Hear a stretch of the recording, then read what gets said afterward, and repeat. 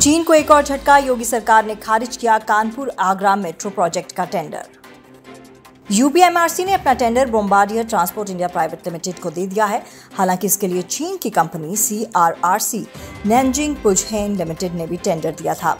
लेकिन तकनीकी खामियाँ पाए जाने के कारण चीनी कंपनी को अयोग्य घोषित कर दिया गया।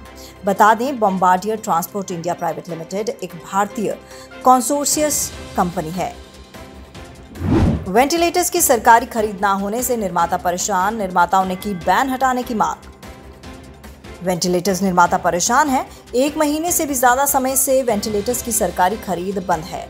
निर्माताओं का कहना है कि मांग ना होना और वेंटिलेटर स्टॉक्स की भरमार होना उद्योग को भारी चोट पहुँचा सकता है। ऐसे में association of Indian medical device industry ने वेंटिलेटर्स के निर्यात में पाबंदी हटाने की मांग की है। एसोसिएशन ने अपने पत्र में कहा है कि केंद्र और राज्य की ओर से ऑर्डर नहीं मिल रहे हैं। निर्माताओं के पास अनबिका स्टॉक पड़ा है। मांग न होने की वजह से कीमतें गिर रही हैं। इसलिए उन्हें वेंटिलेटर्स के निर्यात की इजाज़त दी जानी चाहिए।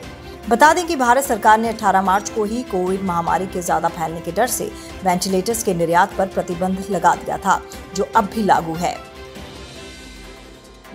हीरो साइकिल्स ने चीन को दिया 900 करोड़ रुपए का झटका एमडी पंकज मुंजाल ने किया ऐलान।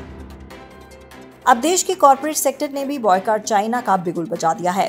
हीरो साइकिल्स ने चीन को बड़ा झटका देते हुए 900 करोड़ रुपए के व्यापारिक सौदे को रद्द कर दिया है। कंपनी के चेयरमैन और मैनेजिंग डायरेक्टर पंकज मुंजाल ने शुक्रवार को इसकी घोषणा की। मुंजाल ने कहा कि उन्होंने चीनी कंपनियों के साथ व्यापार खत्म कर दिया है और नए बाज़ार की तलाश कर रहे हैं। चीन के विकल्प के रूप में मुंजाल जिन देशों पर विचार कर रहे हैं, उनमें जर्मनी सबसे आगे है।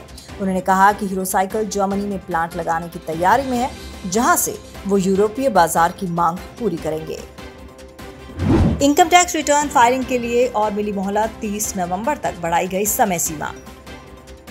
कोरोना महामारी की वजह से सरकार ने इनकम टैक्स रिटर्न फाइलिंग के लिए और अधिक मोहलत दे दी है। वित्त वर्ष 2019-2020 के लिए आईटीआर फाइलिंग के लिए समय सीमा 30 नवंबर 2020 तक बढ़ा दी गई है। इनकम टैक्स डिपार्टमेंट ने शनिवार को एक बयान जारी कर कहा कि मौजूदा समय को समझते हुए और ध्यान में रखते हुए हमने एक बार फिर डेडलाइन को बढ़ा दिया है। उम्मीद है कि इससे टैक्स पेयर्स को बेहतर प्लानिंग में मदद मिलेगी। मेड इन इंडिया एप्स को बढ़ावा देगी सरकार, शुरू किया प्रोग्राम सरकार देश में अलग अलग तरह के विश्व स्तरीय ऐप विकसित करने के लिए उद्यमियों को प्रोत्साहित करेगी। इसके लिए उसने एक प्रोग्राम भी शुरू किया है, जिसका नाम है आत्मनिर्भर भारत ऐप इनोवेशन चैलेंज।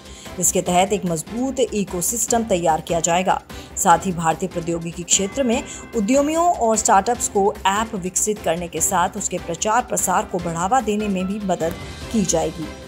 वहीं पीएम ने ट्वीट कर स्टार्टअप्स और टेक्नोलॉजी समुदाय से आत्मनिर्भर भारत ऐप इनोवेशन चैलेंज में हिस्सा लेने की अपील की है। बता दें कि चीनी, चीन ऐप्स पर बैन लगाने के बाद मोदी सरकार ने इस दिशा में भी आत्मनिर्भर बनने के लिए कदम बढ़ा दिए हैं।